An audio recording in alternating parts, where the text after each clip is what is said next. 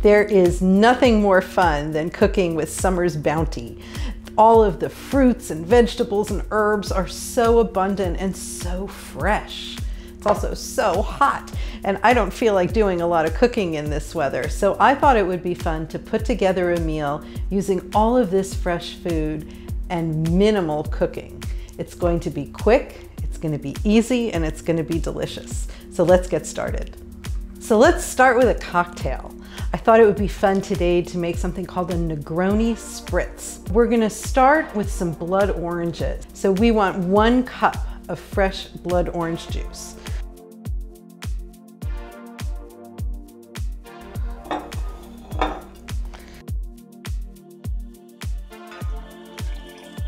Now we can add the alcohol. We want half a cup of Campari,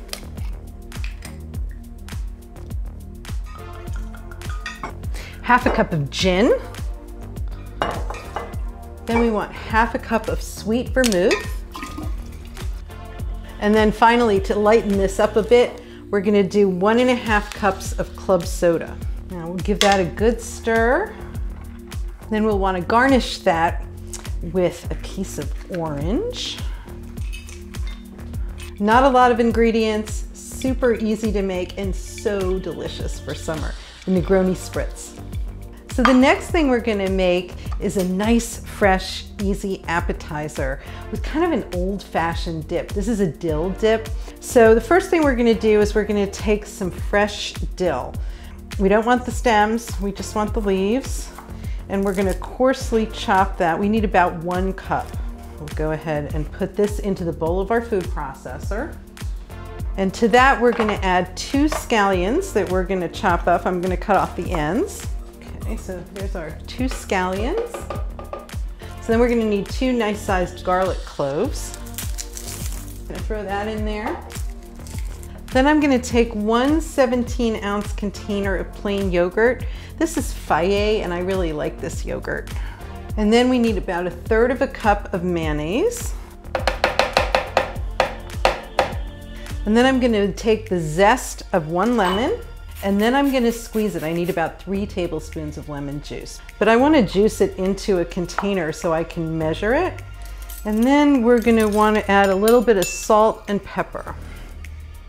And then one tablespoon of champagne vinegar. So now we're just gonna pulse this up in the food processor until it's all blended. Then we'll put it in a bowl and put it in the refrigerator for about 30 minutes. So we're gonna put this in the fridge and let it set up. So the next thing that we're gonna do is start on our balsamic steak and peach salad. I wanna marinate this flank steak for about 20 minutes at room temperature. I've put a quarter of a cup of balsamic vinegar, a tablespoon of dark brown sugar, and one minced garlic clove into this resealable bag. And then I'm just gonna take my flank steak and I'm gonna put it into the bag with the marinade. Then I'm just gonna let it sit and then we'll go on to our next dish. So next on our menu is a spicy cucumber and corn gazpacho. So the first thing we're gonna do is try and pull some of the moisture out of these cucumbers. And I'm just gonna chop these up and put them in a bowl. To these cucumbers, I'm going to add a teaspoon of salt. I'm just gonna stir this up a little bit to distribute the salt. Next on our list of ingredients are two tomatillos. And you wanna rinse them off. They just look like little green tomatoes. So I'm going to cut them up. I'm gonna cut the core out. So I'm just gonna cut these up. I'm gonna add them to my cucumbers. Give them a quick stir. So the next thing we're gonna do is chop up a jalapeno pepper. I want to take out the, the seeds and the, the veins. The next thing I want is about a half of a cup of chopped onion. This is all going to go in the blender, so it doesn't have to be a perfect chop. So I've shucked my fresh corn. Um, and I find that the easiest way to cut it off the cob is to put a clean kitchen towel down on the board.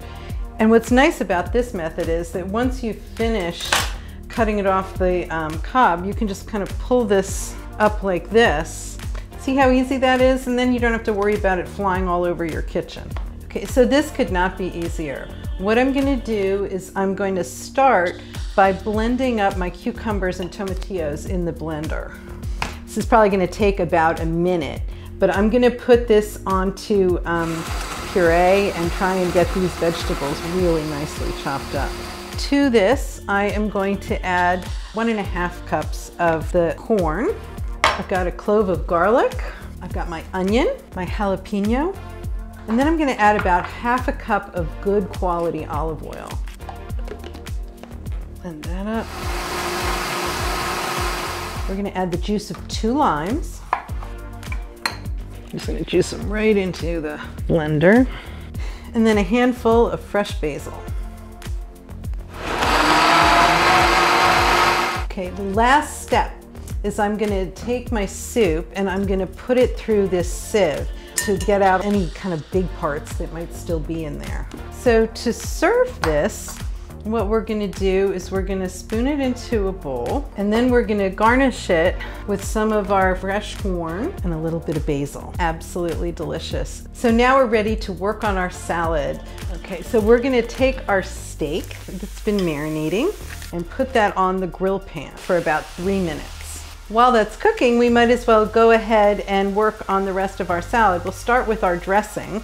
We're gonna use a quarter of a cup of good olive oil, the juice of one lemon, a little bit of salt, and a little bit of pepper. And that'll be our vinaigrette. How easy is that? Turn this steak, cook it for another three minutes on this side. While that meat finishes cooking, I'm gonna go ahead and slice up two ripe peaches. Okay, we'll take that meat off of the heat and let it rest for just a minute. So while our meat is resting, we're gonna go ahead and build our salad. So I've got some fresh arugula. We've got these wonderful fresh peaches. So now I've got a nice block of gorgonzola. I want to kind of roughly cut that and then crumble it over my salad. Let's see how this steak looks. I'm just going to add our steak to our salad. And then to finish this off, we're just gonna um, whisk up a little bit of this dressing and pour it on top, and then you wanna serve it immediately.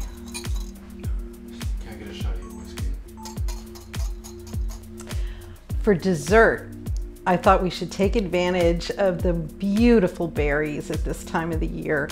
And what I'm gonna do is I'm gonna make a liqueur syrup to coat those berries in and then we'll have them over vanilla ice cream. So to start, I'm gonna take a half a cup of water and one and a quarter cups of sugar. And I'm gonna put that over medium low heat and I'm gonna cook this until the sugar dissolves. This is gonna take about five to eight minutes. Okay, so our sugar has dissolved. To this, I'm gonna add a quarter of a cup of Frangelico. then I'm gonna put it back into the measuring cup and put it in the refrigerator for a few minutes. Once we're ready for dinner, I'm gonna pour that over the berries and we're gonna have that with ice cream. So how easy was that? This beautiful meal with, an, with drinks, an appetizer, a soup, a salad, and dessert, whipped up in no time hardly any cooking. The only thing that really required cooking was the meat um, and a little bit on the syrup. And we have just the most divine dinner. I hope you try some of these recipes. If you do, please let me know how you like them and I will look forward to seeing you in the next video. If you like this, please remember to like and, um, and if you press the bell, you'll get a message every time I have a new video.